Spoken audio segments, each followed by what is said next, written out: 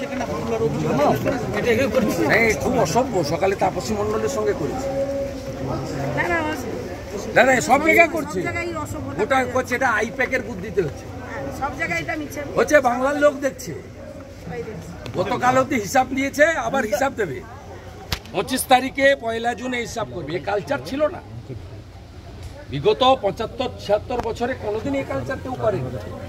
মমতা ব্যানার্জির থেকেও সংখ্যায় বেশি একসময় কংগ্রেস ছিল এমএলএ। একসময় সিপিএম ছিল। এই কালচার আমরা দেখিনি। কলকাতাতে সৃজনের রোড শোতেও সেখানে না না এই আইপ্যাক করাচ্ছে। আইপ্যাকের এই চিটিংবাজগুলো চোরগুলো করাচ্ছে। সবগুলো একসঙ্গে।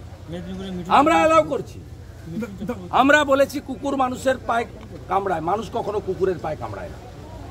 দাদা কুকুর প্রজাতির। এরা কুকুরের থেকেও কুকুরেরও প্রভু ভক্তি আছে। দাদা অভিজিৎ বাবুর প্রচারে নির্বাচন কমিশন নিষেধাজ্ঞা জারি করল চব্বিশ ঘণ্টার জন্য। বিকেল পাঁচটা। অবধি। মানে আজ থেকে কাল ইলেকশন কমিশনের কোনো সিদ্ধান্ত নিয়ে বলব না। তবে মমতা ব্যানার্জির নিষেধাজ্ঞা মমতা ব্যানার্জির নিষেধাজ্ঞা আগে জারি করা উচিত ইলেকশন কমিশনের মমতা ব্যানার্জি সন্দেশখালীর মা বোনেদেরকে যে ভাষায় তাদের রেট কত বলেছেন ভাইপো বলেছে দু হাজার টাকার রেট তার ক্ষেত্রে কেন অ্যাকশন হয় না? আমরা এটা স্বীকার করে নিলাম। ইলেকশন কমিশনের সিদ্ধান্ত মানা উচিত চব্বিশ ঘণ্টা তিনি অফিসে বসে কাজ করবেন বাড়িতে বসে কাজ করবেন। কোনো অসুবিধা হবে না। এবং কিন্তু কিন্তু এই জিনিসটা মমতা ব্যানার্জি এবং তার ভাইপোর ক্ষেত্রে হওয়া উচিত। মাননীয় অভিজিৎ গাঙ্গুলি নিজে থেকে কিছু বলেননি।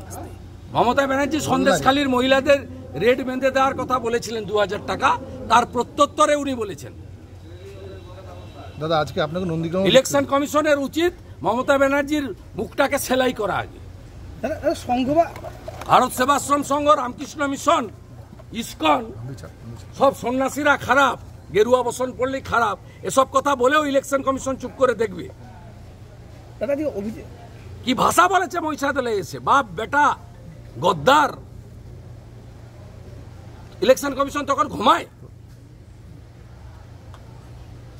মা বেটার ক্ষেত্রে একরকম আইন আর অভিজিৎ গাঙ্গুলির ক্ষেত্রে আরেক রকম আইন।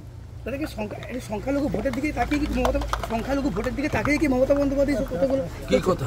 এই যে সংঘদের উপর আক্রমণ কার্তিক কে জানেন না নাকি আপনি নিজে জানেন।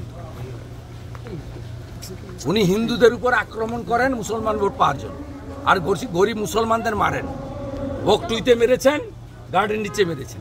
পাশাপাশি অদিত চৌধুরীও আজকে তাকে সমর্থন করছে আনিস খানকে মেরেছেন নৌসাদ সিদ্দিকিকে জেল খাটিয়েছেন আজকে অদিত চৌধুরীও একইভাবে মমতা সাপোর্ট করছে। অর্থাৎ যে যে বক্তব্য দিয়েছে কার্তিক মহারাজের আমি বলব না। অদিত চৌধুরী জামানত থাকে কিনা দেখুন গণনার দিন।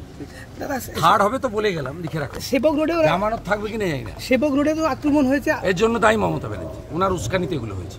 ছেড়ে দেন আমার অনেক তিনটে প্রোগ্রাম